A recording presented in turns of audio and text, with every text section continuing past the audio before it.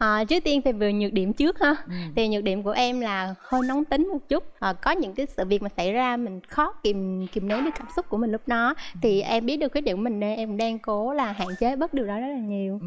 Còn về ưu điểm thì à, em là một cô gái có thể là khá là tự tin, hòa đồng, có khả năng giao tiếp tốt với mọi người với lại à, biết lắng nghe và chia sẻ với mọi người nhà trai điểm mạnh điểm yếu gì nói cho nhà gái nghe đi nói về uh, điểm mạnh thì uh, em thì cũng giỏi về những cái vấn đề giống như là bếp nút nội trợ hoặc là công việc nhà thì vẫn làm rất là ok. Rồi uh, nói về tính tình thì cũng uh, giống bạn nữ bên đó một tí tức là cũng hơi nóng tính. Nhưng mà khi mà có xung đột á thì em lại biết dừng đúng lúc tức là mình sẽ chọn sự im lặng. Sau đó rồi mình mới ngồi với nhau để mình giải cái vấn đề đó chứ không phải là mình mình cứ cứ cứ hai cái lửa nó gặp nhau thì nó có không xung hay. đột là phải Dạ. im lặng ha nhẹ nhàng giải quyết sau ha. Nhìn em ha vừa đẹp nè đúng không? Giỏi nè. Lý do gì em lại có mặt ở đây? Mọi người hay nói với em là hồng nhan bạc phận á chị. À, cái con đường tình duyên của em nó hơi lận đận chút xíu. Em mình nói luôn coi nè. Dạ là em đã từng trải qua một lần đò rồi. Lúc đó mình chưa có chuẩn bị sẵn sàng về những kiến thức hôn nhân gia đình. Cho nên khi có những sự việc xảy đến thì mình không đủ khả năng để mà xử lý những việc đó. Dẫn đến xung đột giữa hai vợ chồng nó ngày càng lớn đó. Cộng theo đó là bên gia đình chồng là không ủng hộ.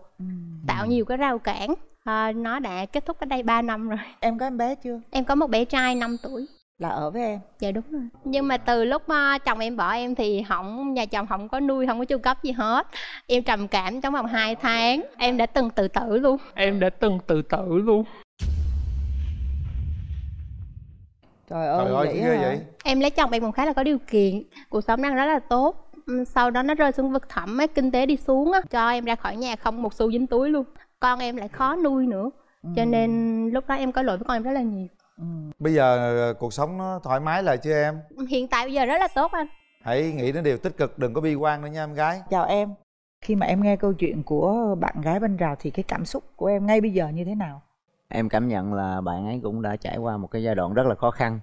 Và em nghe là bạn ấy cũng đã từng tự tử thì em cũng suy nghĩ là bạn ấy khi mà tiến vào hôn nhân thì bạn ấy rất nghiêm túc và rất coi trọng coi trọng hơn cả tính mạng của mình thì rất là ok rồi còn em thì sao? Cái đường tình duyên dạ, của em, em thì cũng ờ, cũng từng trải qua một cuộc hôn nhân. Ừ. thì em bây giờ cũng có một bé trai là cũng ờ, tháng 9 này nữa là 6 tuổi. Cái nguyên nhân chính cũng do là vấn đề tài chính thôi. Thì lúc đó hai đứa còn trẻ quá thì cũng mới ra trường đi làm xong rồi về thì có con rồi lúc đó mình cũng chưa vượt qua được. Gặp vợ chồng cứ mâu thuẫn nhau. Rồi bây giờ em trai muốn ờ, tìm một nửa yêu thương của mình như thế nào em thì nói chung là cũng không có cái gì gọi là đòi hỏi. Em chỉ cần một cái người là đủ tinh tế một tí đủ cảm thông. Tức là trong cuộc sống thì mình sẽ có rất là nhiều những cái thời điểm mà mình đôi lúc mình muốn làm đúng nhưng mà cũng có thể đôi khi nó nó lại cho mình sai. Thì ờ, cũng phải đủ bao dung để nhận ra vấn đề là ô người đàn ông của mình không phải như vậy nhưng mà do một cái số tác động nào đó hoặc là cái trường hợp đó thì như anh không làm được điều đó không phải là do anh không muốn làm mà là do là gặp một cái số trắc trở nào đó tức là phải đủ tinh tế đủ bao dung cho người đàn ông mình một tí. Thế còn về ngoại hình thì sao? Ưa nhìn thôi một thì cao hơn tí hai thì thấp thì thấp luôn. Cao tí là nhiêu? Tức là khoảng từ mét sáu hai sáu ba gì đó còn nếu mà thấp thì thấp tí cũng được. Mình cao mét nhiêu vậy? Thôi, nếu như mang guốc mét sáu mang guốc 7 phân á. Vậy. Rồi nè đó nè à nè nè trời ơi xinh vậy. Thì đó. Chào À. anh. nhà trai ờ, nhìn thôi là thấy đồng ý rồi đó ha. Bây giờ em muốn ờ, mẫu hình lý tưởng như thế nào em gái? Về ngoại hình là không cần phải đẹp trai tại em không mê trai đẹp. Nhưng mà trước tiên là phải cao. Cao. với lại phải có tướng chút xíu cỡ như anh Quyền Linh á. Không thích ốm nha. Thích mập mập chút ha. Mập chút thấy dựa dẫm được. À. Đàn trai cao mét mấy vậy? Dạ em cao mét bảy mốt thôi bảy mốt đó. Ngon ngon lành ngon lành. Về tính cách người đàn ông thì em muốn là họ trầm tính ít nói thôi nhưng mà làm nhiều. Ừ. với lại không thích một người quán coi trọng cái ngoại hình của mình á. Ừ. kiểu như đàn ông mà suốt ngày cứ chạy chuốt là em không thích rồi. Đúng rồi chạy chuốt nó ờ, mất thời gian quá. Có yêu cầu gì về hàm răng không răng á răng em tài trợ được. Tài trợ được. Đúng không được. Thôi bây giờ thì em đi với ai vậy? Em đi với chị dâu và bé trợ lý của em. À. Con xin chào chú Quỳnh Linh và chào cô Hồng Vân. Chào cưng và chào tất cả mọi người ở đây ạ. Con là chị dâu của Trịnh Thị Hiếu. Và con thấy là ừm, bạn trai bên đây là cũng được hai người đã đến với nhau thì ý là cho nhau một cơ hội để tìm hiểu nhau kỹ hơn. Dạ thấy xứng ạ. Thấy xứng ha. Dạ dạ. À, trợ lý sao trợ lý Dạ, con xin chào cô chú ạ. Con thấy à, anh bên này cũng đẹp trai, thấy cũng hợp với chị ạ. cao không Dạ cao, đúng Mập tiêu không? chuẩn của chị ạ. Cái này anh này cũng không có mập nhưng mà tướng nhìn cũng được ạ. rồi rồi bên nhà trai đi với ai vậy dạ em đi với mẹ ạ. Dạ em chào anh Hoàng Linh và chào chị Hồng Dân và chào hết khán giả. Thấy cũng đẹp, gái cũng dễ thương. Hai đứa cũng được, có làm dâu gì không? Không có đòi hỏi dâu gì hết, chồng dễ lắm. mẹ giờ mẹ hiền quá ha. Dạ. Mẹ, mẹ chồng tương lai hiền đó. Bây giờ là hai người gặp mặt nha. Dạ. Nào mở rào.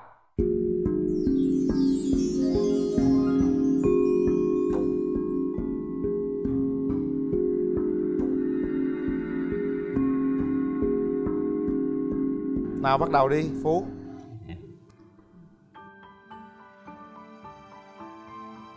thì à, thì anh cũng có một món quà nhỏ kỷ niệm để tặng cho em. Dạ em cảm ơn. Dạ. em còn có chút quà em gửi anh. Ờ, anh. Cây này có tên là cây lưỡi hổ thì nó có về ý nghĩa tâm linh thì nó cũng có chút xíu hỗ trợ cho mình trong cái việc kinh doanh. Cái tên của nó em rất là thích thể hiện sự mạnh mẽ nam tính của người đàn ông. Rồi hiếu mở quà của ảnh ra coi. Con gấu rất là dễ thương. Rồi em cảm ơn anh em ờ, tặng một con gấu thì em suy nghĩ là bạn ấy sẽ để một là ở chỗ phòng ngủ hai là nơi làm việc thì cứ nhìn thấy thì hy vọng là sẽ nhớ tới em thôi. Em có mạnh mẽ như gấu không? Em mạnh mẽ như cọp. Cái nhìn đầu tiên thì thấy là bạn rất là xinh ờ, có một cái nụ cười rất là đẹp. Dạ. Ừm, còn em thì ờ, gặp anh em hơi bất ngờ chút xíu tại vì anh không có giống như tưởng tượng của em. Em lại nghĩ anh to hơn chút xíu Tức là À. cũng vừa mới ốm đây đó. Chắc là tập thể dục nhiều quá hả? Dạ. anh gặp em rồi á thì anh cảm giác như thế nào? Qua những cái nãy giờ mình ấy thì thấy là em là một người phụ nữ cũng bản lĩnh và tài giỏi. Nói chung là cũng khá là là khó khó tìm. Không biết là hiện tại anh và vợ cũ của anh á thì mối quan hệ của hai người như thế nào nhỉ? À, mình cũng hiện đại. Mình ly hôn rồi nhưng mà ý như là mình còn một cái ràng buộc tức là con cái. Thì mình vẫn ờ, lâu lâu thì mình vẫn chở con qua rước con đi chơi. Ờ, tức là em với anh cũng đã từng trải qua một cái lần đổ vỡ rồi. Thì bây giờ ai cũng có con. Thì anh suy nghĩ là nếu mà một người đàn ông đủ bao dung và đủ yêu thương cái người con của của người vợ mới của mình thì cũng đó là một cái để cho người vợ mới sẽ là yêu thương con. Muốn yêu thương con con của mình được yêu thương thì trước hết mình phải yêu thương con của vợ chứ. Dạ. phải cho đi thì mình mới nhận lại được. Ừ. À. với lại tương lai em cũng nếu như em lập gia đình nữa thì em muốn có thêm một bé gái. Tại em rất thích con gái gái dễ thương lắm em. Dạ giống như anh Quyền Linh á. Đúng rồi. À, so với bạn thì thật sự là em em chưa chưa chưa thành công được. Thì em cũng đang trong cái quá trình lập nghiệp thì em cũng có tiêu chí thì bữa giờ cũng do dịch bệnh thì cũng chưa làm được những kế hoạch của mình. Sau cái dịch này nếu mà ổn định thì cũng mở một cái công ty để ra làm riêng. Em lập nghiệp mà cách đây 3 năm á thì em cũng đi làm cho các cơ sở khác thôi. Và em cũng mới khai trương được ờ, cơ sở riêng em được khoảng gần 2 tháng à thì à, anh có thể hỗ trợ em được mà nói đi. Dạ. em sẵn sàng nhận sự hỗ trợ từ anh. Với lại em tin là một người có đầu óc kinh doanh như anh á thì sẽ giúp đỡ em rất là nhiều. Nhà anh có mấy anh chị em nhỉ? Có một đứa em gái nữa lấy chồng và ở gần đây luôn. Thực ra em không được may mắn trong cuộc hôn nhân lần trước là không nhận được tình yêu thương của ba mẹ chồng.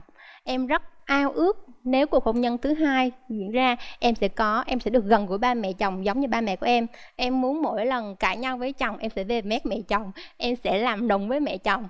Ờ, con ờ, em rất là ao ước có một mẹ chồng gọi là hiểu hiện đại chút xíu. Hai mẹ con cùng làm đẹp cùng đi shopping cùng đi spa em rất là thích điều đó. Bây giờ nhìn mẹ chồng đây là thấy đúng như cái điều mà em ước luôn rồi đó. Dạ. à, em không ngại vấn đề làm dâu nhưng mà nếu như vợ chồng ở riêng á thì sẽ có không gian riêng và tình cảm nó sẽ tốt hơn. Mình có thể ở gần thường xuyên về nhà mẹ ví dụ như ăn cơm ké đó. Chứ còn nếu ở chung thì em vẫn không thích. Thì đó Ừ. hai đứa kiếm cái nhà kế mẹ thôi bước qua bước lại. Dạ. em trai em à, phú bước tới hãy nắm tay à, bạn nana. À, em hãy nói lên tất cả những suy nghĩ của mình với bạn ấy. Nãy giờ em hồi hộp quá đổ mồ hôi quá. Kệ nó. Nào bây giờ càng hồi hộp hơn nữa. Hãy nắm tay bạn gái. Rồi cho anh xin phép được nắm tay. Nắm hai tay nhìn thẳng vào mắt bạn gái. Ngày hôm nay thì cũng có cái duyên gặp nhau thì nói chung là sau những cái chia sẻ nãy giờ thì thấy là cũng có nhiều cái nó cũng ờ, cũng tương đồng có nhiều cái cũng rất là hay. Dạ. Em thấy ảnh nói với em mà không dám nhìn cho mắt em. Vậy là có dấu hiệu đang rối, rối loạn Hồi nhịp tim rối đó. loạn tiền đình. Rối loạn. Rối loạn nhịp anh tim. không dám nhìn em. Rối loạn tiền đình là mệt lắm á.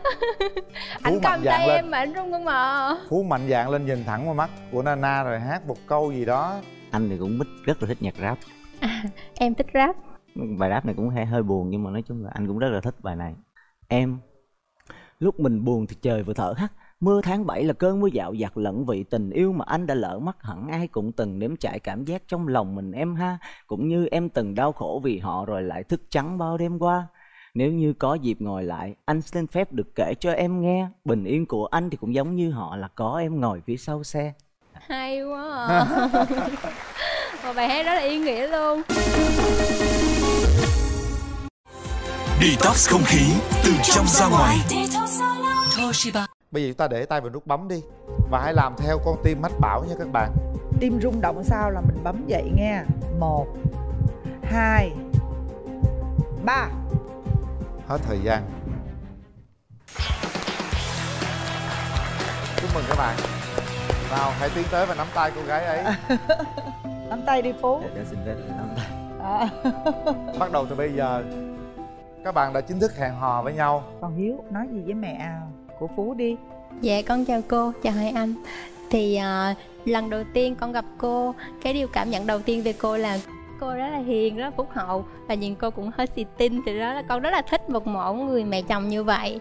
À, Nếu như con và anh à, Phú có cơ duyên đến với nhau Con hy vọng là con anh Phú sẽ bù đắp lại những điều tổn thương con trong quá khứ Và con sẽ được có được như một người mẹ chồng, một người chồng đúng như con mong ước. Hay quá.